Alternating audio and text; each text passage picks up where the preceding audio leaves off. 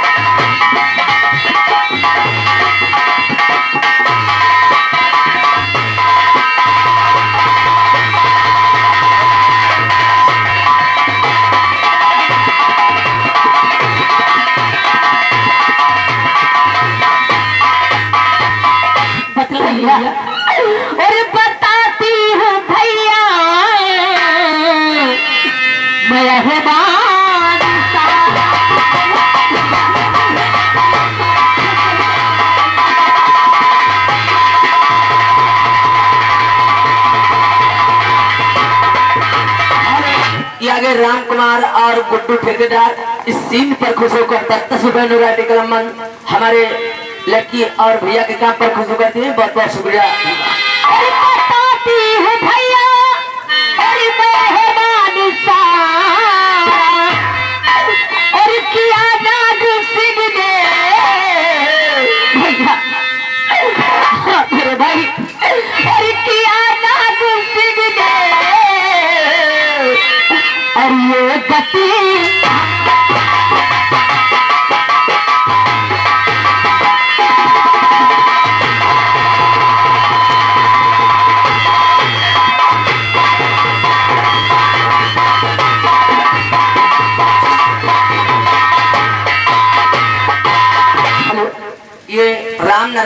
और गुड्डू ठेकेदार है।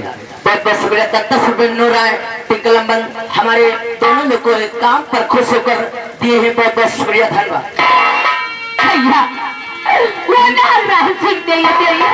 भैया और उसके साथ उसकी हवेली में पाँच सौ रुपये लेने के लिए जा रही थी। पाँच सौ रुपए की? कौन से सत्ता पड़ गई? जो जमींदार की हवेली गई। किसके आदेश से गई भैया था, मैं अपने मन से नहीं गई थी वो तो बाबू जी के कहने से मैं वहाँ गई थी। और वो हराम ज़्यादा मुझे बहुत भयानक जंगल में लेकर गया। और कहा कि अभी थोड़ी दूर मेरी हवेली है, और कभी ना वो मुझसे उल्टी सीधी बातें करते हुए। और मुझे कहीं भी छोड़ना चाहता था मेरे भाई। जाने मैं कैसे बच कर रही हूँ भैया? गंगा भाई नाग सिंह ने तुम्हारे बदन को छुआ है। नाग सिंह वो हम मौत मारूँगा तुम्हें कि ना कोई कानून की डायरी में लिखा होगा और ना ही कहीं किसी ने सोचा होगा। और इसलिए तुम्हें पाँच सौ रुपए के जमींदार कहा आज के बाद तुम बगैर अपने भाई की इजाज़त के तुम कहीं बाहर नहीं जाओगी। क्यों नहीं भैया? कभी नहीं जाओगी आओ गंगा। चलिए भैया।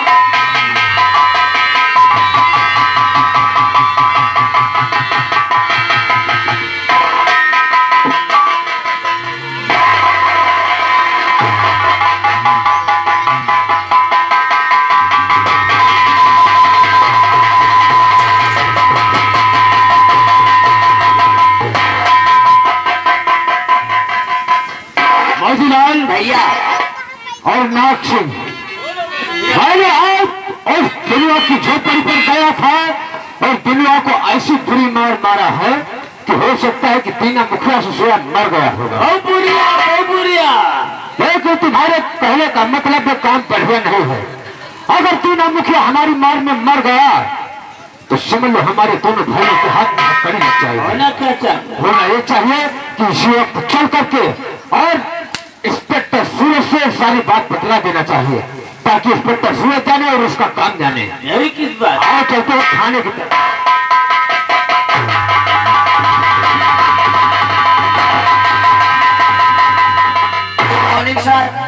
गुड मॉर्निंग हवलदार अमरनाथ शुक्ला यस सर क्या। हो रहा है? बस ड्यूटी आप बात कर मैं आपसे कुछ बात करना चाहता हूँ।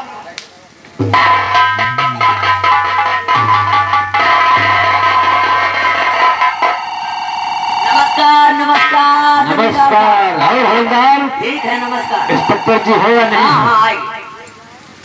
जमींदार राणा प्रताप सिंह। हाँ इंस्पेक्टर जी। आज पुलिस स्टेशन आने का मतलब क्या है? आने का मतलब यह है कि हमारे यहाँ पर राजस्थान में भुमरई ग्राम पड़ता है। तो और भुमरई ग्राम की जनता जो बहुत गरीब जनता है वहाँ की जनता हमारी हवेली से कर्ज ले जाती है और बगैर मांगे मुताबिक कर्ज वापस भी कर जाते हैं।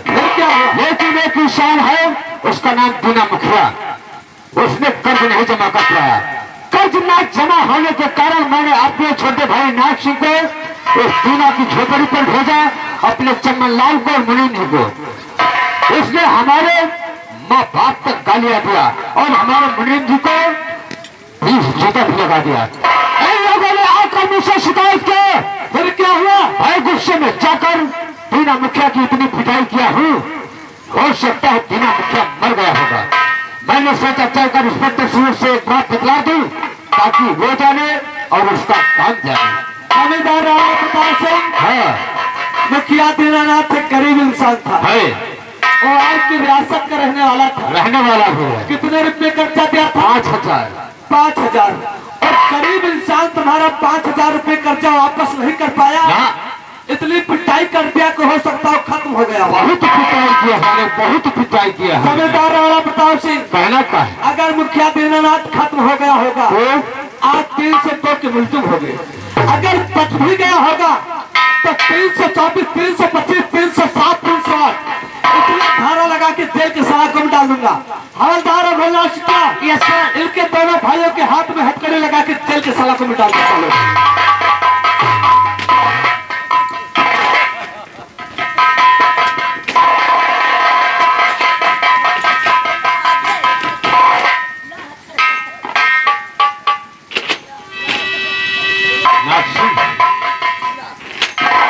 बहुत बुरा हो गया। हमने आए थे मदद मांगने के लिए और ये हाथ कड़ी पड़ गई एक काम करो कौन सा काम करो? बोल जल्दी बोल। पचास रुपया दे दो इंस्पेक्टर साहब। तुम्हारा दिमाग खराब हो गया तुम्हारी मती मार गई। मनीष जी इंस्पेक्टर को इंस्पेक्टर की जेब में पचास हज़ार।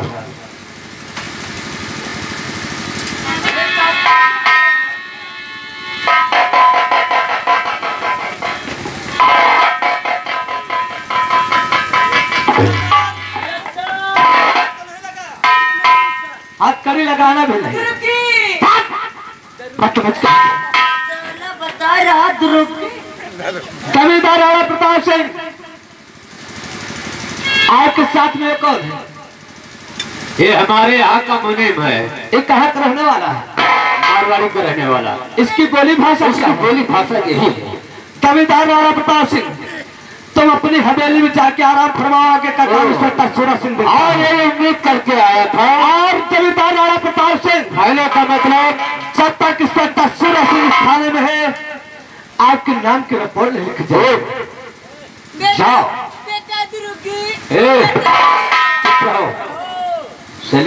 और जमींदार राणा प्रताप सिंह तुम्हारे मुनीम को बोलने का तरीका नहीं अरे मालूम उसकी बोली भाषा है।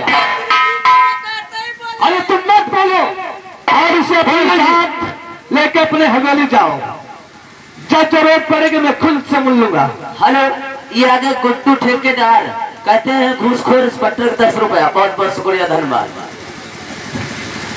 और अपनी हवेली में आराम फरमाओ ठीक है इंस्पेक्टर नाथ सिंह आओ हम लोग चलते हैं सारा काम हो गया।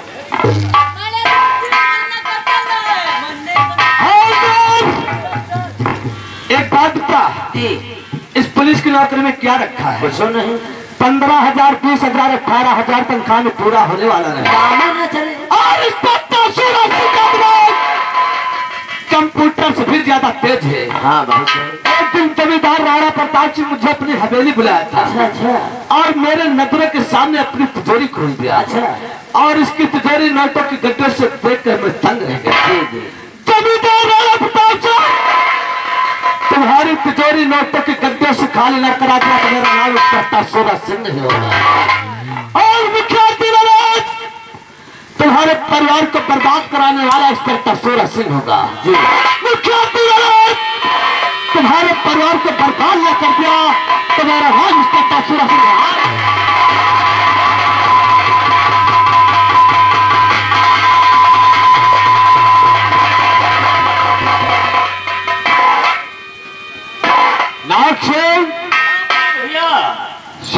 काम हो गया एक काम बाकी है कौन सा काम बाकी है बोल। काम ये बाकी है कि सारे रास्ते खुल गए हैं। तो? अब मेरा दिल कहता कि बियाबान जंगल में जाकर जी भर के शिकार। यानी तुम्हारी शिकार खेलने वाली आदत अभी नहीं गई तो है। बचपन की आदत है। कौन है छुतुरी है और छतरी साले छतरी नहीं तो हमने साले छतरी की बात करो। नहीं आता तो मत कहो। साले छतरी छापा लगाकर बैठा शिकार शिकार शिकार। हाँ। तो शिकार खेलने का शौक तुम्हें है बहुत लंबा नहीं भैया। जरा शराब की बोतल लेकर आ तुम्हें। ला ला। और हमारा भाई शराब पिएगा फिर हम लोग शिकार के लिए निकलते हैं। शराब पी के जाऊँगा जी भर के शिकार खेलूँगा। क्यों नहीं नाग सिंह क्यों नहीं? और तुमको और मनोज जी को और मोजी लाल को शिकार जाना है मैं तो हवेली पर आराम करूँगा। लेकिन इस शराब पीने का मतलब और सो पिए में घोल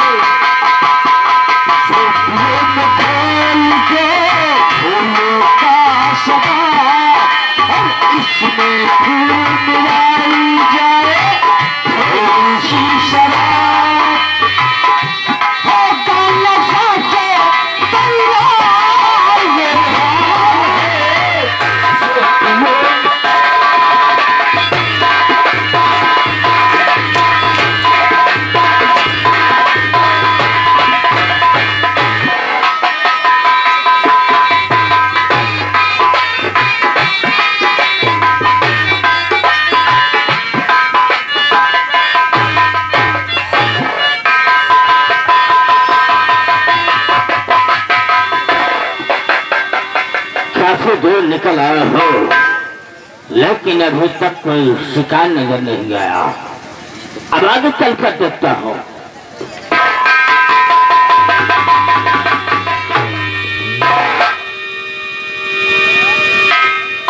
जो बात आज मैं पूछूँगा, वो बात आप तुम्हें बतलाना होगा। तूने गंगा पर किया जो मेरे प्यार तूने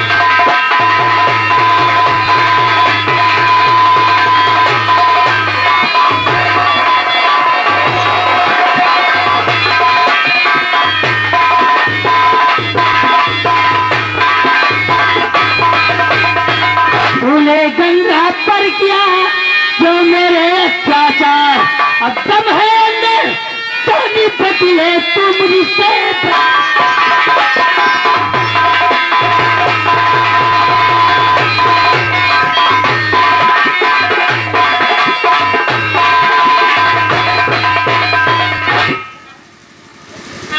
कैसे तुम्हारी हिम्मत हो गई मेरी गंगा जैसी पवित्र बहन को हाथ लगाने की। क्या नाम है मेरा नाम मलखान।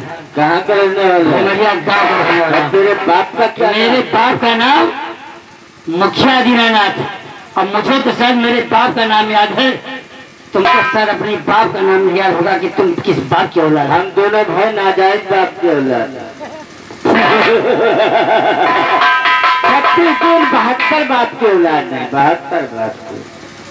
यहाँ किस लिए आ गया? बोल यहाँ इस वास्ते से आया हूँ कि तुम्हारी हिम्मत कैसे हो गई मेरी गंगा जैसी पवित्र बहन को हाथ लगाने की?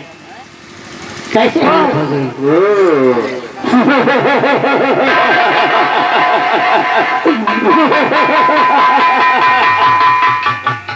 ठाकुर नागराज सिंह ने अगर तेरी पवित्र बहन गंगा की कलाई पकड़ ही लिया है तो उसमें तेरा क्या नुकसान हो गया? नाग सिंह संभाल के बात करना।